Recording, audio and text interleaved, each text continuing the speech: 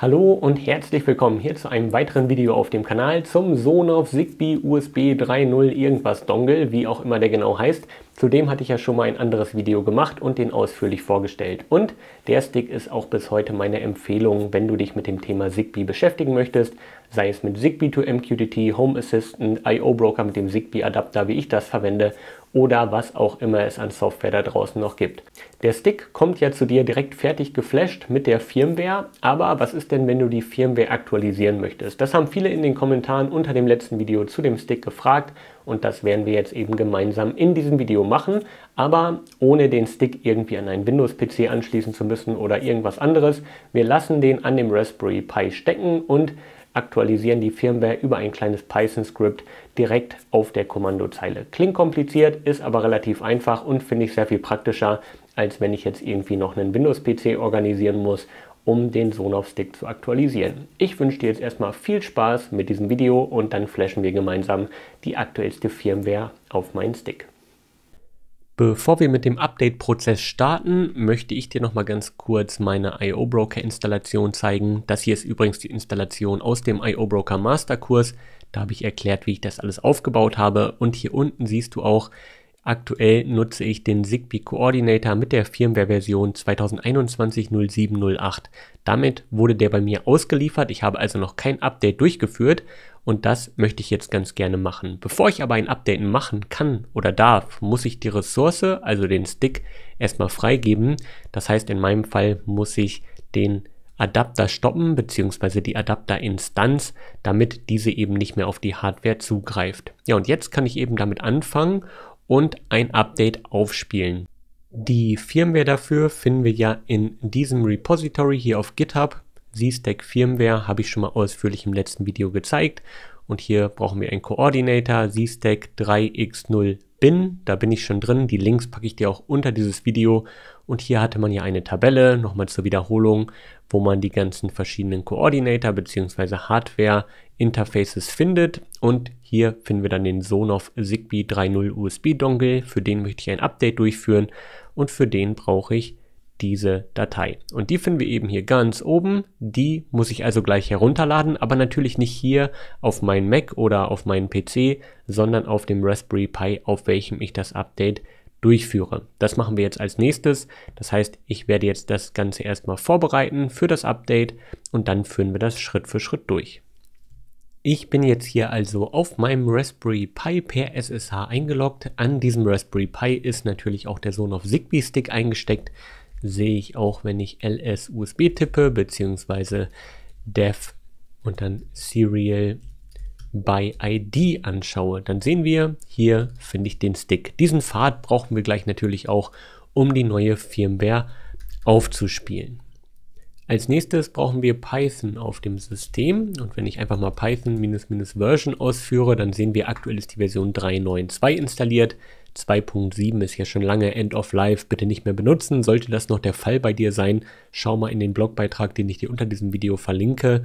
Da habe ich ein paar Zeilen dazu geschrieben, soll aber nicht Bestandteil von diesem Video sein. Ja, und dann brauchen wir noch ein paar Pakete, die wir mit pip installieren, also dem Paketmanager von Python. Den habe ich jetzt noch nicht installiert.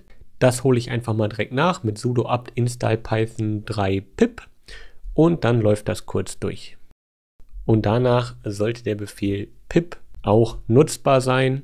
Mit minus minus Version sehe ich, ich habe die Version 20.3.4 bekommen für Python 3.9. Perfekt.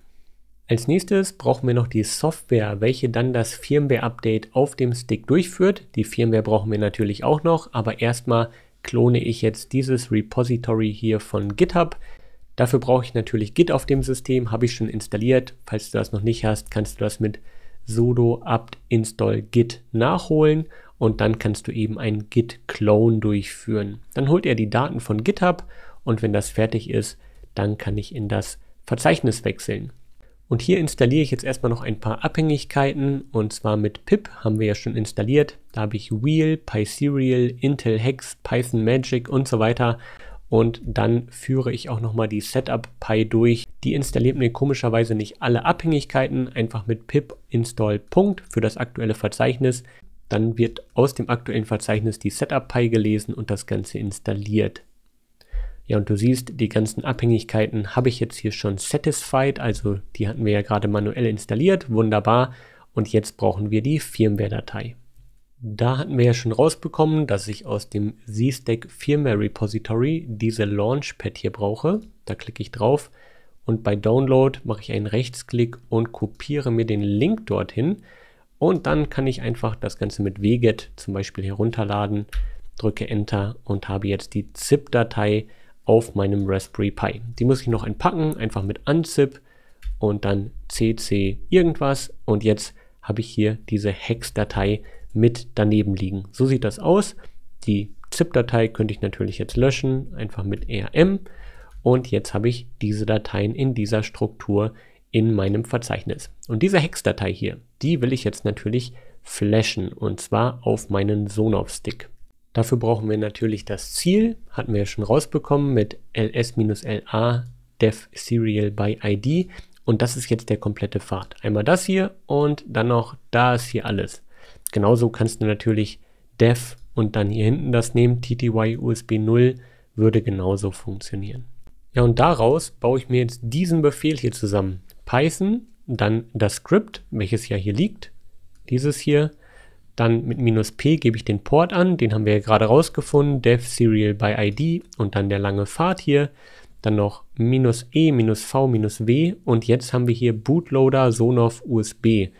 Wenn wir das angeben, brauchen wir den Button auf dem Sonoff nicht mehr drücken, auf dem USB-Stick. Da müsste man das Gehäuse für aufmachen und so weiter. Brauchen wir alles nicht.